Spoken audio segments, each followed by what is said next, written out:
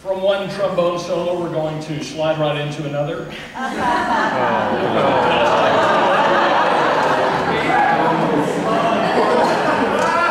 had the same reaction last night from my family on that one. Our next soloist is Nick Gilmore.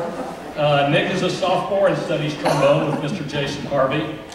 He's a consistent region band member, two-year member of the Wind Ensemble, and this is his first year in finals.